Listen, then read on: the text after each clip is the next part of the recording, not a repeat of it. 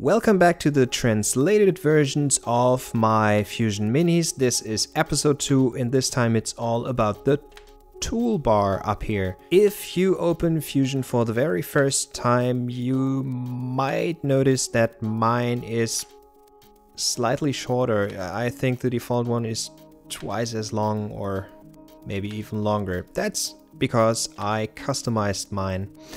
And how have I done that? A simple right click on any of these symbols will open this dialog box and here you can start customizing. My toolbar is called Tobias and I can easily create new ones if I like to. I can create two, three, four, five hundred or more toolbars if that's necessary. And here on the right you can see me choosing the tools for my specific toolbar I am working on right now and then I can simply turn the toolbars on and off easy. Okay, and if I think that's the worst thing I've ever done, then I can of course delete it and nobody will ever know. Fine.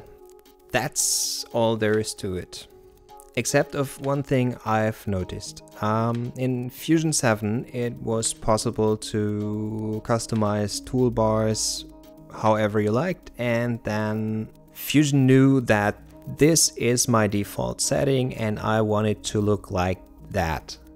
In this beta, Fusion 8 Beta 2, however, this does not seem to work, neither on my Windows system nor on my Mac.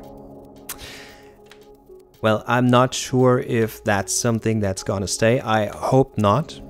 Um, but as long as that's the case, you have to walk the extra mile by activating your toolbars because they are there. They're simply not showing. Okay, we're at the end of episode 2. Episode 3 will be about timecode.